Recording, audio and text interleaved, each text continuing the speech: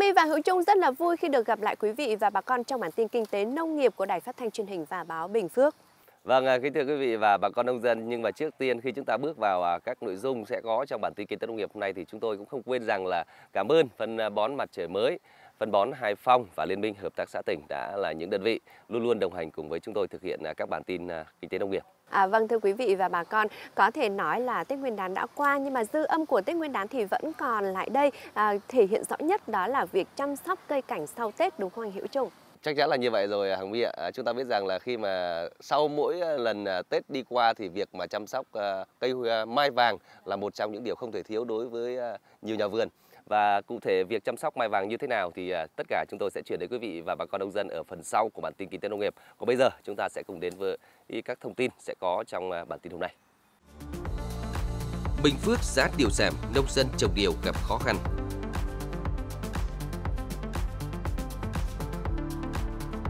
Lần đầu tiên Việt Nam xuất khẩu rau quả chế biến vượt mốc 1 tỷ đô la Mỹ.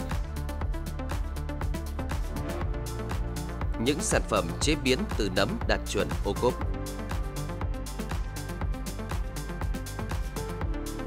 Rộn ràng dịch vụ chăm sóc mai vàng sau Tết.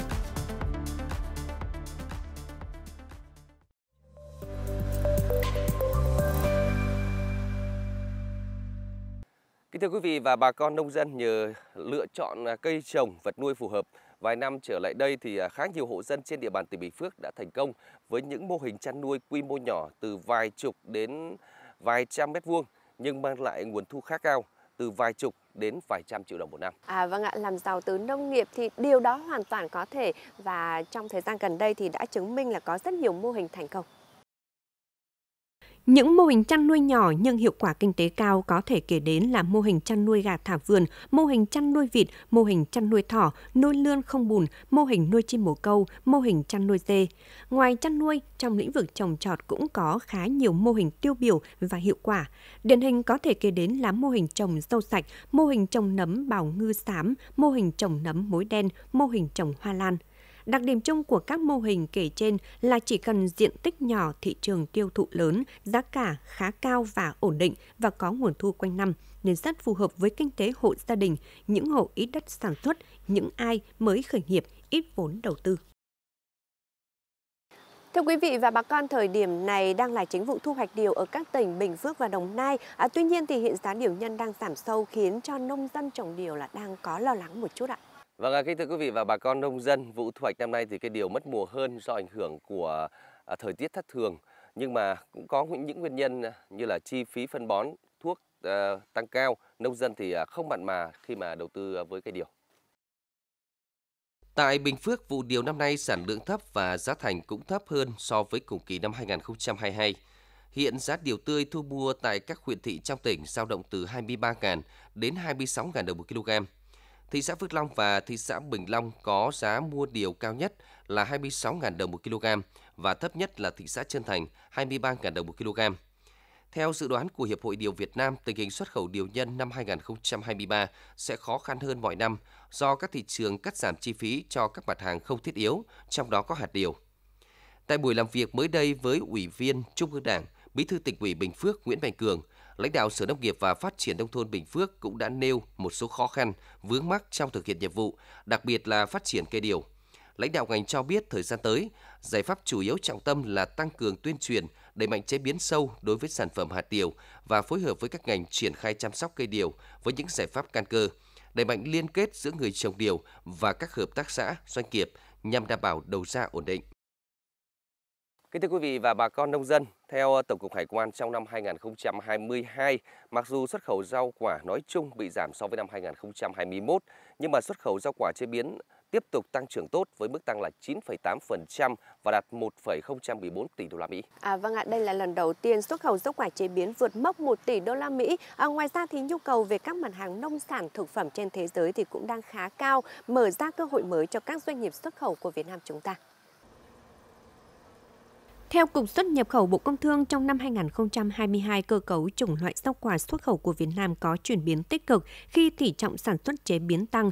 Cụ thể, trong cơ cấu hàng rau quả xuất khẩu năm 2022, tỷ trọng xuất khẩu rau quả chế biến chiếm 29,47%, tăng 3,8 điểm phần trăm so với năm 2021. Các chuyên gia ngành rau quả cho rằng vẫn còn nhiều cơ hội để mở rộng thị phần của rau quả chế biến Việt Nam tại Liên minh châu Âu EU nói riêng và trên toàn cầu nói chung trong thời gian tới. Tuy nhiên, để thâm nhập và mở rộng thị phần cho rau quả chế biến Việt Nam tại những thị trường này, việc sản xuất đảm bảo các tiêu chuẩn an toàn thực phẩm nghiêm ngặt là yêu cầu bắt buộc với các doanh nghiệp rau quả Việt Nam. Những năm gần đây, hương vị sầu riêng Việt Nam chinh phục thị hiếu của khách hàng trong nước và vươn ra nhiều thị trường trên thế giới như Nhật Bản, Đài Loan, Hồng Kông, Hoa Kỳ, châu Âu. Đến nay, nước ta xuất khẩu sầu riêng đi hơn 20 thị trường. Chất lượng sầu riêng của nước ta được người tiêu dùng đánh giá cao và giá cả phù hợp nên có thể cạnh tranh với một số nước như là Thái Lan, Malaysia. Năm rồi, kim ngạch xuất khẩu sầu riêng ước đạt gần 400 triệu đô la Mỹ, cao nhất từ trước đến nay. Hiện giá sầu riêng tại vườn từ 150 đến 190 000 đồng một ký, cao gấp 3 lần cùng kỳ năm ngoái. Tại tỉnh Bình Phước hiện có hơn 3.400 hecta diện tích sầu riêng, trong đó 630 hecta của 8 vùng trồng và một cơ sở đóng gói được cấp mã số để xuất khẩu đi Trung Quốc. Nhiều doanh nghiệp trồng sầu riêng tại Bình Phước đã sớm nhận thấy tiềm năng cho việc xuất khẩu sầu riêng sang thị trường Trung Quốc và đã sớm tư duy thay đổi chuỗi sản xuất. Còn tỉnh Hậu Giang hiện có hơn 1.800 hecta trồng sầu riêng, sản lượng mỗi năm khoảng 4.000 tấn. Để được cấp mã số vùng trồng, diện tích tối thiểu phải đạt 10 hecta, canh tác theo hướng Việt Gáp và vùng trồng phải đồng bộ một loại cây. Vì thế, sau mỗi cữ bón phân thuốc, ông Trần Văn Buôn, xã Trường Long A, huyện Châu Thành A, tỉnh Hậu Giang, ghi chép cẩn thận nhật ký nông hộ cho 1,3 hecta sầu riêng RI6. Đây là yêu cầu bắt buộc khi thực hiện mã vùng trồng. Năm nay mà được cái, cái đăng ký mã vùng trồng này xuất khẩu ra nước ngoài, ờ, được mình xuất khẩu là chính ngạch. Ờ, mình không có qua trung gian ai chân thì nói chung là cái nếu mà không có qua trung gian thì cái giá nó phải cao hơn ờ, bên ngoài rồi. Thì nói chung bà con cũng rất phấn khởi. Cho nên là bà con đồng lòng theo là làm theo cái hướng dẫn là của của hợp tác xã rồi của phòng nông nghiệp hướng dẫn mình.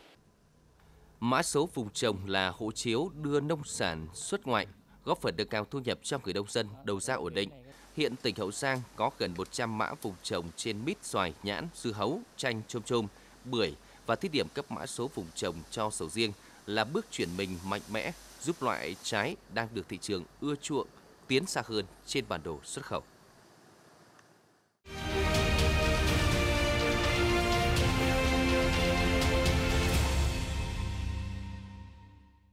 Thưa quý vị và bà con, Hợp tác xã sản xuất và kinh doanh nấm Đức Thuận ở huyện Mộ Đức, tỉnh Quảng Ngãi thì chuyên sản xuất nấm linh chi và nấm bào ngư. Ngoài ra, hợp tác xã còn chế biến các sản phẩm nấm sau thu hoạch. Vâng, à, kính thưa quý vị và bà con nông dân, hiện thì có 4 sản phẩm được chế biến từ nấm đạt tiêu chuẩn ô cốp 3 sao. Những sản phẩm này là gì thì ngay bây giờ mời quý vị và bà con nông dân cùng tìm hiểu qua phóng sự do đồng nghiệp của chúng tôi ở đài phát thanh truyền hình à, Quảng Ngãi thực hiện. Khô sợi nấm bảo cư là một trong bốn sản phẩm được chế biến sau thu hoạch đã được công nhận chuẩn ô cốp 3 sao. Nấm bào ngư còn được gọi với cái tên khác là nấm sò, một loại nấm giàu chất dinh dưỡng và càng ngày được nhiều người chọn để bổ sung vào bữa ăn hàng ngày của gia đình. Nấm bào ngư Đức Nhuận được sản xuất theo tiêu chuẩn 30, không chất kích thích tăng trưởng, không sử dụng phân bón hóa học và không sử dụng chất bảo quản. Nấm Đức Nhuận thì đạt cái tiêu chí đảm bảo an toàn vệ sinh thực phẩm là lên hàng đầu từ cái khâu chọn nguyên liệu đến cái khâu sản xuất bịch phôi cho đến cái khâu nuôi trồng tất cả đều trong cái phạm vi là kiểm soát rất là tốt về các tiêu chuẩn an toàn thực phẩm. Trong đó đặc biệt là sản xuất theo cái hướng hữu cơ.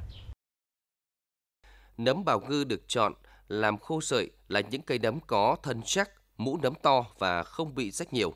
Sau khi thu hoạch, nấm được cắt bỏ phần gốc và rửa bằng nước muối pha loãng để loại bỏ nguy cơ gây hại từ các vi sinh vật hoặc là bụi bẩn. Sau khi để ráo nước, nấm được xé nhỏ để sấy được đều và giòn. Mình xé xong á là mình tiến hành bỏ vô trong khay rồi mình đi à, sấy sấy sấy cho cái nấm mình để nó tan cái độ giòn với lại giữ được cái vị ngọt của nấm. Là mình sấy cho nó rốn rốt phần nước. Xong rồi là mình tiến hành mình mình đem ra ngoài bếp mình bỏ lên chỗ mình chiên qua cho nó giòn. Xong khi chiên xong rồi là mình tiến hành phối trộn gia vị. Gia vị gồm có tỏi, xỏ, tiêu ớt với lại à, mè cho có dầu điều nữa cho nó lên màu cho nó đẹp. Sau khi mà nó đều gia vị rồi đó, nó tới nó tan độ giòn thì mình mình đổ ra là ở trong cái khay khi nóc á. Rồi à, khi mà nó mềm cái cái nấm mà nó ra xong rồi rồi nó nó nó nó, nó giòn rồi nó hết mềm rồi nó ra ngoài là nó sẽ giòn nó nguội thiệt nguội là là mình tiến hành mình đắng hộp mình đắng gói mình xuất ra thị trường. Ngoài khô sợi nấm bảo ngư, còn có sản phẩm bột nêm nấm bảo ngư, trà túi lọc nấm linh chi đã được công nhận sản phẩm 3 sao ô cốp thuộc chương trình mỗi xã một sản phẩm. Rất là khó chế biến. Nên để tiếp cận đó thì hợp tác xã nó đi gặp rất nhiều chuyên gia và cũng thông qua các chuyên gia đồ người ta hỗ trợ mình, cho mình về công nghệ này rồi người ta phải đầu tộ cho mình một thời gian rất là dài tuy nhiên là về rồi cũng phải, khi mà lắp vô máy, móc thiết bị là cũng phải điều chỉnh đi, điều chỉnh lại cũng rất là lâu. Nói chung là để làm được cái việc đó, hợp tác xã nó rất là kỳ công. Và đặc biệt là áp dụng các cái tiến bộ khoa học này, áp dụng cái tiếng công nghệ vào chế biến thì với với đội ngũ nhân viên thì được đồ tổ rất là kỹ các sản phẩm chế biến từ nấm linh chi và nấm bào ngư sau khi đạt chuẩn ô cốp được người dùng tin tưởng và lựa chọn nhiều. Như trà túi lọc nấm linh chi này, bột nêm nấm thì được người tiêu dùng đón đón nhận rất là tốt. Và người ta ừ, khen và một số khách hàng thì mua xong rồi dùng tiếp rồi mua tiếp. Nó ừ, phát triển thị trường nói chung nó cũng thuận lợi. Và đặc biệt là ừ, hiện giờ có cái cửa hàng bón sản phẩm sạch, bón sản phẩm ô cốp á, trên địa bàn tỉnh hầu như cái cửa hàng là cũng có. Trà linh chi thảo mộc và trà linh chi túi lọc hạt sen là hai sản phẩm tiếp theo đang được hợp tác xã sản xuất và kinh doanh nấm Đức Nhuận đăng ký để được công nhận đạt chuẩn ô cốp 3 sao.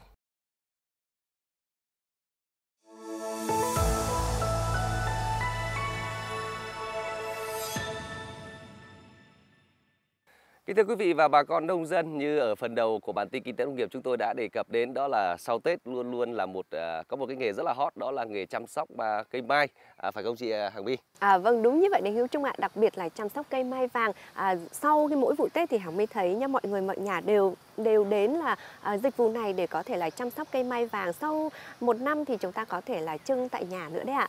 À, và vâng thưa quý vị và bà con à, vào dịp Tết Nguyên đán thì nhiều gia đình có điều kiện đã mua các loại cây mai cảnh có giá trị là từ vài triệu đến vài chục triệu đồng. Và sau Tết thì cây cần được chăm sóc nên là phải thuê dịch vụ chăm sóc. Nhờ đó mà dịch vụ chăm sóc cây mai sau Tết đã trở thành nghề mà mang lại thu nhập không nhỏ cho nhiều người.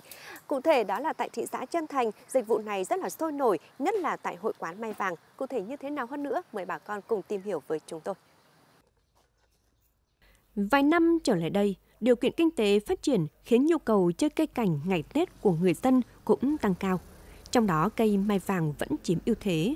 Nắm bắt nhu cầu này, Hội quán mai vàng thị xã Trân Thành đã chủ động đáp ứng cả chất lượng và số lượng mai vàng trước Tết, cũng như các dịch vụ chăm sóc mai sau Tết cái ờ, xu hướng thị trường của mai năm nay á, thì à, bán ra thị trường rất là nhiều. Có một số hộ gia đình thì cái nhà người ta nó không có cái diện tích đó, thì có một số là người ta thuê. Rồi có một số thì người ta mua xong rồi người ta trưng tết xong rồi người ta gửi lại vườn nhờ mình à, chăm sóc lại ờ, cho người ta đến mùa năm sau thì họ mang về họ trưng. Mình phải chăm sóc ngay tại vì khi cây mai mình đem về đó như cái cây đó, mình khi mình đem từ nhà ra là cái bộ lá là nó nó cháy hết từ trong từ trong mát mà mình chuyển ra ngoài nắng thì nó cháy hết. Đó thì à, cái cây mai nó mất sức mất sức rất nhiều. Rồi cái nước lượng nước tưới là nhiều khi không đảm bảo nữa. Do do đó là mình về là mình là mình à, thay thay chất trồng hoặc mình cắt tỉa để mình phục hồi sau mùa ra hoa, những cây mai mà chủ vườn cho thuê hoặc bán trước đó được thu gom về để tiếp tục chăm sóc, giúp cây mau chóng phục hồi những người làm công ngay tại địa phương cũng có việc làm dài ngày và cảm nhận được niềm vui với dịch vụ này. Tôi gắn bó với nghề chăm sóc cây mai này cũng được 5 năm rồi và công việc ở đây rất là vui.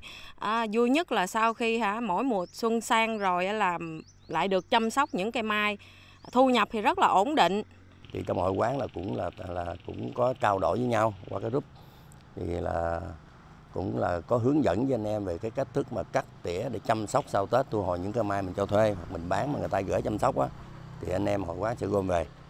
Thưa quý vị và bà con nông dân với tình yêu rất lớn dành cho cây mai vàng, chủ nhiệm hội quán mai vàng đã cho mượn một hecta đất để các hội viên chăm sóc và kinh doanh tập trung cùng nhiều dịch vụ khác liên quan đến cây mai vàng.